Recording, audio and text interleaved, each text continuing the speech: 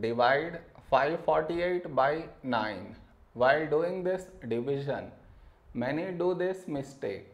What is the mistake that they do? I will let you know. But before that, we should frame it in this way. 548 and 9 here. This is your step 1.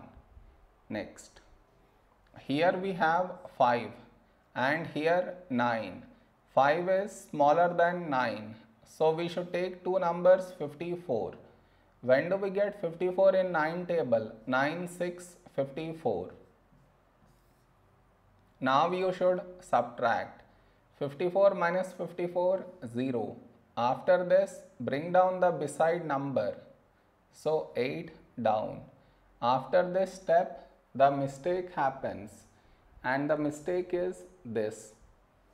Here we have 8 and here 9. 8 is smaller than 9.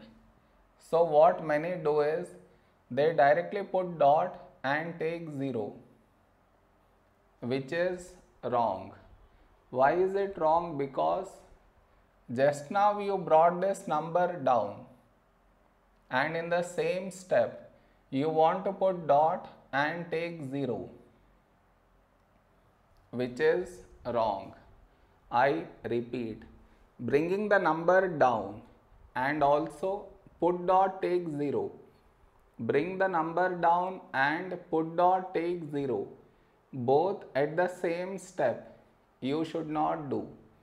Instead what you should think of doing is which number should we take here if I take 1 we will get 9 but 9 is larger than 8 so what we should do is we should take 0 so 9 into 0 0 now you should subtract.